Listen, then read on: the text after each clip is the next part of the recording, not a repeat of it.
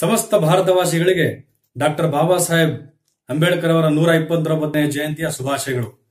ಸ್ನೇಹಿತರಿಗೆ ತಮಗೆಲ್ಲರಿಗೂ ಕೂಡ ಮತ್ತೊಮ್ಮೆ ಬಾಬಾ ಸಾಹೇಬ್ ಜಯಂತಿಯ ಶುಭಾಶಯಗಳನ್ನು ಹೇಳುತ್ತಾ, ನಾನು ವಿಜಯ್ ಜಾಧವ್, ರಾಷ್ಟ್ರೀಯ ಗೋರ್ಬಂಜರ ಕ್ರಾಂತಿ ಸಂಘದ ರಾಜ್ಯಾಧ್ಯಕ್ಷ. ಸ್ನೇಹಿತರೆ, ಇಂದು ನಾವು ಡಾಕ್ಟರ್ ಬಾಬಾ ಸಾಹೇಬ್ ಅಂಬೇಡ್ಕರ್ ಅವರ ನೂರ ಇಪ್ಪತ್ತೊಂಬತ್ತನೇ ಜಯಂತಿಯನ್ನು ಆಚರಣೆಯನ್ನು ಮಾಡ್ತಾ ಇದ್ದೀವಿ. ಈ ಕೊರೋನಾ ವೈರಸ್ನಿಂದಾಗಿ ಇಂದು ಭಾರತದಲ್ಲಿ ನಾವೆಲ್ಲರೂ ಕೂಡ ಸಾಮೂಹಿಕವಾಗಿ ಜಯಂತಿಯನ್ನು ಆಚರಣೆ ಮಾಡೋದಕ್ಕೆ ಆಗ್ತಾ ಇಲ್ಲ. ಹಾಗಾಗಿ ಇಡೀ ಭಾರತದಲ್ಲಿ ಮನೆ ಮನೆಗಳಲ್ಲಿ ಇಂದು ಡಾಕ್ಟರ್ ಬಾಬಾ ಸಾಹೇಬ್ ಅಂಬೇಡ್ಕರ್ ಅವರ ಜಯಂತಿಯನ್ನು ಆಚರಣೆಯನ್ನು ಮಾಡಲಾಗ್ತಾ ಇದೆ. ಭಾರತಕ್ಕೆ ವಿಶ್ವ ರತ್ನ ಅಂತಲೇ ನಾವೆಲ್ಲರೂ ಕೂಡ ಹೇಳಬಹುದು ಡಾಕ್ಟರ್ ಬಾಬಾ ಸಾಹೇಬ್ ಅಂಬೇಡ್ಕರ್ ಅವರಿಗೆ. ಭಾರತಕ್ಕೆ ಇಡೀ ಜಗತ್ತಿನಲ್ಲಿ ಸರ್ವಶ್ರೇಷ್ಠವಾದಂತಹ ಒಂದು ಸಂವಿಧಾನವನ್ನ ಕೊಟ್ಟಂತಹ ಕೀರ್ತಿ ಯಾರಿಗಾದರೂ ಸಲ್ಲುತ್ತದೆ ಅಂತಂದ್ರೆ ಅದು ಡಾಕ್ಟರ್ ಬಾಬಾ ಸಾಹೇಬ್ ಅಂಬೇಡ್ಕರ್ ಅವರಿಗೆ ಅಂತ ಹೇಳ್ಬಿಟ್ಟು ನಾವೆಲ್ಲರೂ ಕೂಡ ಹೇಳಬೇಕಾಗತ್ತೆ. ಇಂಥ ಒಬ್ಬ ಡಾಕ್ಟರ್ ಬಾಬಾ ಸಾಹೇಬ್ ಅಂಬೇಡ್ಕರ್ ಅವರು ಸಾವಿರದ ಎಂಟುನೂರ ತೊಂಬತ್ತೊಂದು ಏಪ್ರಿಲ್ ಹದಿನಾಲ್ಕರಂದು ಮಧ್ಯಪ್ರದೇಶದ ಮಹೋ ಎಂಬ ಮಿಲಿಟರಿ ಕ್ಯಾಂಪಸ್ನಲ್ಲಿ ಜನ್ಮವನ್ನು ತಾಳ್ತಾರೆ ಮೂಲತಃ ಡಾಕ್ಟರ್ ಬಾಬಾ ಸಾಹೇಬ್ರವರು ಮಹಾರಾಷ್ಟ್ರದ ರತ್ನಗಿರಿ ಜಿಲ್ಲೆಯ ಅಂಬೇವಾಡ್ ಗ್ರಾಮದವರು. ಇವರು ರಾಮ್ಜಿ ಸಕ್ಪಾಲ್ ಮತ್ತೆ ಭೀಮಾಬಾಯಿ ಅವರಿಗೆ ಹದಿನಾಲ್ಕನೆಯ ಮಗನಾಗಿ ಜನ್ಮವನ್ನು ತಾಳ್ತಾರೆ ಇಂತಹ ಒಂದು ಡಾಕ್ಟರ್ ಬಾಬಾ ಸಾಹೇಬ್ ಅಂಬೇಡ್ಕರ್ ಅವರು ತಮ್ಮ ಒಂದು ವಿದ್ಯಾಭ್ಯಾಸದ ದಿನಗಳಲ್ಲಿ ಅತ್ಯಂತ ಒಂದು ಕಷ್ಟದ ದಿನಗಳನ್ನ ತಾವು ಅನುಸರಣೆಯನ್ನು ಮಾಡುವಂತ ಒಂದು ಸಂದರ್ಭದಲ್ಲಿ ಬರುತ್ತದೆ.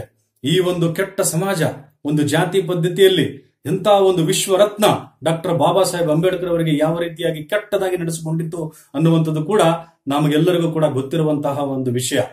ಒಬ್ಬ ಮನುಷ್ಯನನ್ನ ಜ್ಞಾನದಿಂದ ನೋಡಬೇಕೇ ವಿನಃ ಅವನಿಗೆ ಜಾತಿಯಿಂದ ನೋಡುವಂತಹ ಸಂದರ್ಭ ಈ ಭಾರತ ದೇಶದಲ್ಲಿ ಬಂದಿರುವಂತದ್ದು ಅತ್ಯಂತ ದೊಡ್ಡ ಒಂದು ದುರಂತ ಅಂತಾನೆ ನಾವೆಲ್ಲರೂ ಕೂಡ ಹೇಳಬೇಕಾಗತ್ತೆ. ಇಂಥ ಒಬ್ಬ ಡಾಕ್ಟರ್ ಬಾಬಾ ಸಾಹೇಬ್ ಅಂಬೇಡ್ಕರ್ ಅವರು ಎಂತ ಒಬ್ಬ ಮನುಷ್ಯರಾಗಿದ್ರು ಅನ್ನುವಂಥದ್ದು ನಾವೆಲ್ಲರೂ ಕೂಡ ಒಂದು ಎರಡು ವಿಚಾರಗಳನ್ನ ಡಾಕ್ಟರ್ ಬಾಬಾ ಸಾಹೇಬ್ ಅಂಬೇಡ್ಕರ್ ಅವರ ಬಗ್ಗೆ ತಿಳಿದುಕೊಳ್ಳೋಣ. ಡಾಕ್ಟರ್ ಬಾಬಾ ಸಾಹೇಬ್ ಅಂಬೇಡ್ಕರ್ ಅವರು ತಮ್ಮ ಕಾಲ ಮಾನವನ್ನು ಮೆಟ್ಟಿ ನಿಂತು ಗೋಪುರೋಪವಾಗಿ ಬೆಳೆದು ನಿಂತು ಮಹಾಮಾನವರಲ್ಲಿ ಒಬ್ಬರು. ರಾಷ್ಟ್ರೀಯತಾವಾದಿಯಾಗಿ ಕಾನೂನು ತಜ್ಞರಾಗಿ, ರಾಜಕೀಯ ನೇತಾರರಾಗಿ, ಕ್ರಿಯಾಶೀಲ ಸಾಮಾಜಿಕ ಕಾರ್ಯಕರ್ತರಾಗಿ, ಶ್ರೇಷ್ಠ ಇತಿಹಾಸಕಾರರಾಗಿ, ಮಹಾ ದಾರ್ಶನಿಕರಾಗಿ, ಅಪ್ರತಿಮ ಚಿಂತಕರಾಗಿ, ಮಾನವ ಶಾಸ್ತ್ರಜ್ಞರಾಗಿ, ಖ್ಯಾತ ಅರ್ಥಶಾಸ್ತ್ರಜ್ಞರಾಗಿ, ಸಮೃದ್ಧ ಬರಹಗಾರರಾಗಿ, ಕ್ರಾಂತಿಕಾರಿಯಾಗಿ, ಅಸಾಮಾನ್ಯ ವಾಕ್ಪಟುವಾಗಿ, ಬೌದ್ಧ ಧರ್ಮದ ಪುನರುಜ್ಜೀವಕರಾಗಿ, ಭಾರತೀಯ ಸಂವಿಧಾನದ ಪ್ರಮುಖ ಶಿಲ್ಪಿಯಾಗಿ, ಅವರು ಮಾಡಿರುವ ಮಹತ್ತರ ಸಾಧನೆಗಳನ್ನು ಗಮನಿಸಿದರೆ ಒಬ್ಬ ವ್ಯಕ್ತಿ ಒಂದು ಜೀವಮಾನದಲ್ಲಿ ಇಷ್ಟೆಲ್ಲ ಸಾಧನೆಗಳನ್ನು ಮಾಡಲು ಸಾಧ್ಯವೇ ಎಂದು ಬೆರಗಾಗಿ ನಿಲ್ಲುವಂತೆ ಕೆಲಸ ಮಾಡಿದಂತಹ ವ್ಯಕ್ತಿ ಈ ಜಗತ್ತಿನಲ್ಲಿ ಯಾರಾದರೂ ಇದ್ದರೆ ಅದು ಡಾಕ್ಟರ್ ಬಾಬಾ ಸಾಹೇಬ್ ಅಂಬೇಡ್ಕರ್ ಅಂತ ಹೇಳ್ಬಿಟ್ಟು ನಾವು ಈ ಸಂದರ್ಭದಲ್ಲಿ ಅವರನ್ನು ನೆನೆಸ್ಕೊಳ್ಳಬೇಕಾಗತ್ತೆ ಬಂಧುಗಳೇ. ಸಾಮಾಜಿಕ ಭೇದ ಭಾವಕ್ಕೊಳಗಾಗಿ ನರಳುತ್ತಿದ್ದ ಬಡ ಕುಟುಂಬದಲ್ಲಿ ಹುಟ್ಟಿದ ಅವರು ತಮ್ಮ ಇಡೀ ಜೀವಮಾನವನ್ನು ಈ ಸಾಮಾಜಿಕ ಭೇದ ಭಾವಕ್ಕೆ ಸಮಾಜದ ಎಲ್ಲ ಪಿಡುಗುಗಳಿಗೂ ಕೂಡ ಕಾರಣವಾಗಿರುವ ಜಾತಿ ಪದ್ಧತಿಯ ವಿರುದ್ಧವಾಗಿ ಹೋರಾಡುವುದಕ್ಕೆ ಮೀಸಲಾಗಿ ಇಡಬೇಕಾದಂತಹ ಒಂದು ಸಂದರ್ಭ ಬಂತು. ತಮ್ಮ ಈ ಅವಿರತ ಹೋರಾಟದಿಂದ ಹಿಂದಿನ ಸಮಾಜ ಸುಧಾರಕರು ಯಾರೂ ಸಾಧಿಸದಿದ್ದಂತಹ ಮಹಾಕ್ರಾಂತಿಯನ್ನು ಎಸಗಿ ಹೊಸ ಇತಿಹಾಸವನ್ನೇ ಸೃಷ್ಟಿಸಿದರು. ಸಾಮಾಜಿಕ, ಆರ್ಥಿಕ ಸಂಕಷ್ಟಗಳನ್ನು ಮೀರಿ ನಿಂತು ಅನೇಕ ಪ್ರಥಮಗಳನ್ನು ಅವರು ಸಾಧಿಸಿದರು. ಕಾಲೇಜು ಶಿಕ್ಷಣವನ್ನು ಪಡೆದ ದಲಿತರಲ್ಲಿಯೋ ಮೊದಲಿಗರಾಗಿದ್ದವರಲ್ಲಿ ಅವರು ಪ್ರಮುಖರಾದರು. ನ್ಯಾಯಶಾಸ್ತ್ರ, ಅರ್ಥಶಾಸ್ತ್ರ, ರಾಜ್ಯಶಾಸ್ತ್ರ ಸಂಬಂಧವಾದ ತಮ್ಮ ಅಧ್ಯಯನ ಮತ್ತು ಸಂಶೋಧನೆಗಳಿಂದಾಗಿ ಕೊಲಂಬಿಯಾದಂತಹ ವಿಶ್ವವಿದ್ಯಾನಿಲಯದಿಂದ ಲಂಡನ್ನಿನ ಅರ್ಥಶಾಸ್ತ್ರ ಶಾಲೆಯಿಂದ ಡಾಕ್ಟರೇಟ್ ಪದವಿಗಳನ್ನು ಪಡೆದ ಮಹಾ ಮೇಧಾವಿಗಳಲ್ಲಿ ಅವರೊಬ್ಬರಾಗಿದ್ದರು. ಹೀಗೆ ಶ್ರೇಷ್ಠ ವಿದ್ವಾಂಸರಾಗಿ ಭಾರತಕ್ಕೆ ಹಿಂದಿರುಗಿ ಬಂದ ಅವರು ಸಮಾಜದ ಕೆಳವರ್ಗಗಳ ಸಾಮಾಜಿಕ ಸ್ವತಂತ್ರಕ್ಕಾಗಿ, ರಾಜಕೀಯ ಹಕ್ಕುಗಳಿಗಾಗಿ ಅಹರ್ನಿಶಿ ದುಡಿದರು. ಬರಹಗಳ ಭಾಷಣಗಳ ಮೂಲಕ, ವೈಚಾರಿಕ ಚರ್ಚೆ ಸಂವಾದಗಳ ಮೂಲಕ ಸಾಮಾಜಿಕ ರಾಜಕೀಯ ಜಾಗೃತಿಗಳನ್ನು ಮೂಡಿಸಿದರು. ಆಧುನಿಕ ಬೋಧಿಸತ್ವರೆಂಬ ಕೀರ್ತಿಗೆ ಅವರು ಪಾತ್ರರಾದರು. ಇಂಥ ಒಬ್ಬ ಬಾಬಾ ಸಾಹೇಬರ ದಿನವನ್ನು ಇಂದು ನಾವೆಲ್ಲರೂ ಕೂಡ ಆಚರಣೆಯನ್ನ ಮಾಡ್ತಾ ಇದ್ದೀವಿ. ಸಾವಿರದ ಒಂಬೈನೂರ ತೊಂಬತ್ತರಲ್ಲಿ ಅವರಿಗೆ ಭಾರತ ರತ್ನ ಪ್ರಶಸ್ತಿಯನ್ನು ನೀಡಲಾಗಿದೆ. ಅಂಬೇಡ್ಕರ್ ಅವರು ನಮಗೆಲ್ಲರಿಗೂ ಕೂಡ ಹೇಳಿರುವಂತಹ ಒಂದು ಮಾರ್ಗ ಯಾವುದಂತಂದ್ರೆ ಶಿಕ್ಷಣ, ಸಂಘಟನೆ, ಹೋರಾಟ. ಎಜುಕೇಟ್ ಆರ್ಗನೈಸ್ ಎಗಿಟೇಟ್ ಎಂಬ ತತ್ವಗಳನ್ನು ನಮ್ಮ ನಾಡಿಗೆ ಅವರು ಕೊಟ್ಟರು. ಇಂಥ ಒಬ್ಬ ಮಹಾನ್ ದಾರ್ಶನಿಕ, ಇಂಥ ಒಬ್ಬ ಮಹಾನ್ ಒಬ್ಬ ಜ್ಞಾನಿ, ಒಬ್ಬ ವಿಶ್ವರತ್ನ ಇಂಥವರ ಒಂದು ಜಯಂತಿಯನ್ನು ಆಚರಣೆ ಮಾಡುವಂಥದ್ದೇ ನಮಗೆಲ್ಲರಿಗೂ ಕೂಡ ಒಂದು ಹಬ್ಬ. ನಾನು ಹಲವಾರು ಸಂದರ್ಭಗಳಲ್ಲಿ ಹೇಳ್ತಾ ಇರ್ತೇನೆ, ಈ ದೇಶದಲ್ಲಿ ಮಾನವೀಯತೆಯ ಬೀಜವನ್ನು ಬಿತ್ತಿದವರು ಬುದ್ಧನಾಗಿದ್ರೆ ಅದನ್ನು ಹೆಮ್ಮರವಾಗಿ ಬೆಳೆಸಿದಂತ ಕೀರ್ತಿ ಬಸವಣ್ಣನವರಿಗೆ ಸಲ್ಲುತ್ತದೆ.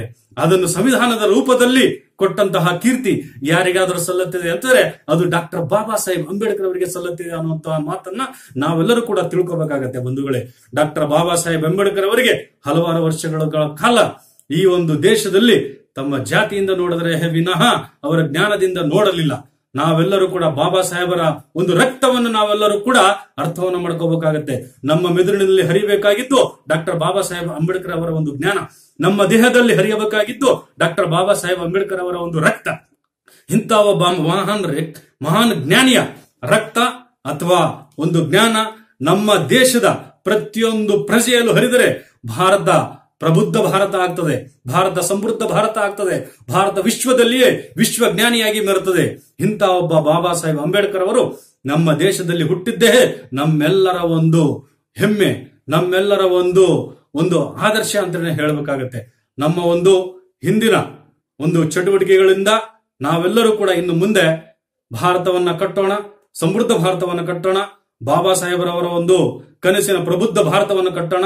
ಸಮಾನತೆಯ ಭಾರತವನ್ನು ಕಟ್ಟೋಣ, ಸಂವಿಧಾನವನ್ನು ಉಳಿಸುವಂತಹ ಒಂದು ಕೆಲಸಗಳನ್ನ ನಾವೆಲ್ಲರೂ ಕೂಡ ಮಾಡಬೇಕಾಗುತ್ತೆ ಬಂಧುಗಳೇ. ಇಡೀ ಜಗತ್ತಿನ ಹಲವಾರು ಸಂವಿಧಾನಗಳನ್ನು ಓದಿ ಭಾರತಕ್ಕೆ ಹೇಗೆ ಭಿನ್ನವಾದಂತಹ ಒಂದು ಸಂವಿಧಾನವನ್ನು ಕೊಡಬೇಕು, ಭಾರತಕ್ಕೆ ಹೇಗೆ ಒಂದು ಅತ್ಯಂತ ಸರ್ವಶ್ರೇಷ್ಠವಾದಂತಹ ಒಂದು ಸಂವಿಧಾನವನ್ನು ಕೊಡಬೇಕು ಅನ್ನುವಂತಹ ಒಂದು ನಿಟ್ಟಿನಲ್ಲಿ ಹಗಲಿರುಳು ಅಧ್ಯಯನವನ್ನು ಮಾಡಿ ಬಾಬಾ ಸಾಹೇಬರು ಈ ಸಂವಿಧಾನವನ್ನು ನಮಗೆಲ್ಲರಿಗೂ ಕೂಡ ಕೊಟ್ಟಿರುವಂತದ್ದು.